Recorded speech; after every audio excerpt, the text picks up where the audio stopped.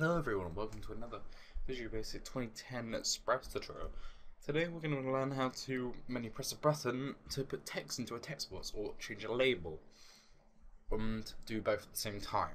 So first of all, we go to New What Project, then we want to make it button text box label test.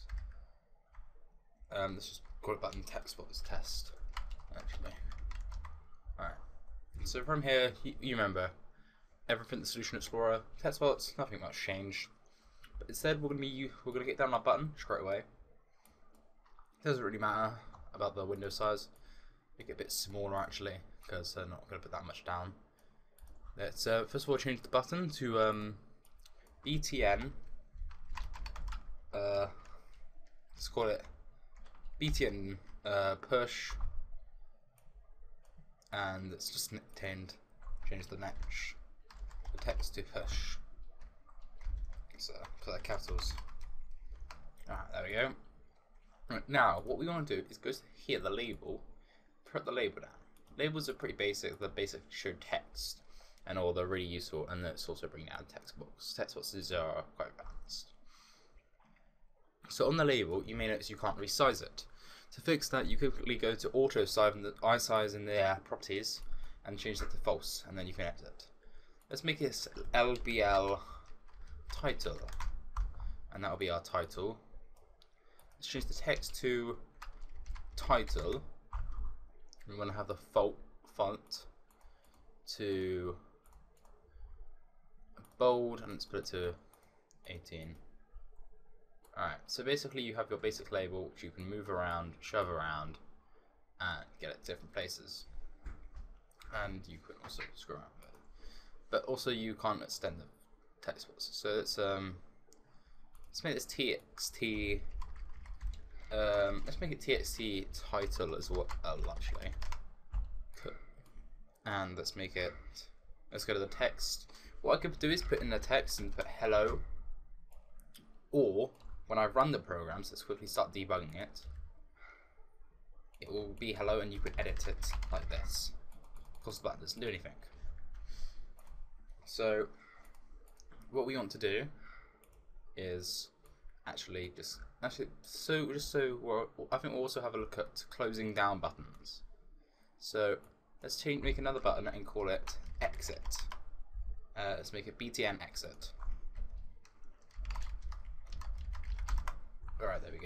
So we've got our buttons now. We've also got our text box. So first of all, let's bring up the push code. So to get this, we want to go have a look at the uh, txt title. Then we want to put txt title dot text is equal to um, you can either put them just in brackets uh, just to make it look nicer or in speech just in speech marks so let's put let's put it equal to um, hello world. That's so when we run the program and press push, it puts hello world in there. If I keep on doing that, I'll continue to put hello world in there. So that we've learned about um, text statements now. So let's actually have a look at the label statement. So we put LBL title text is equal to hello world as well. So when we run the program, push, and because of the label's size, it's actually fit. I extend the size, the label, run it again. There you go. So the label changes. It's used this for error messages and such, or you can just have a message box appear saying error. Now, for the um, exit button. Now, when you, of course, when you double click on it, it brings up a new code. This is how the code is split between each other. Um, exiting or hiding the form uh, to bring up another form is really simple. All you do is put me.hide and say if you want um, something else to show. So say if we made a different project window. In fact, let's first of all let's run this So you put me.hide and you press exit, disappears. But you do, however, have to stop the debugging manually because it's technically still running. So we have now uh, we now have a lovely hello world button and an exit button.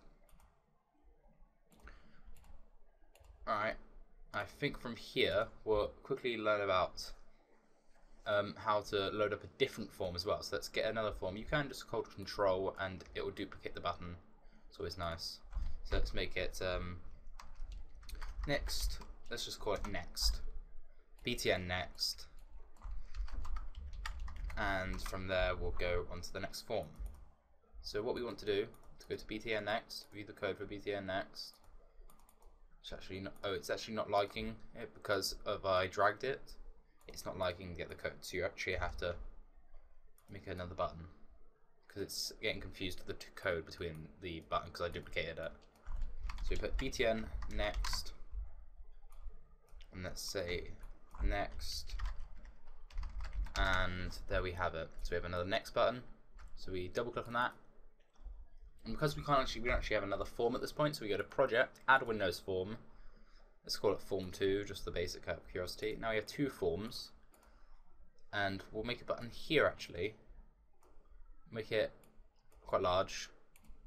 We'll call it back, and we'll call it BTN back.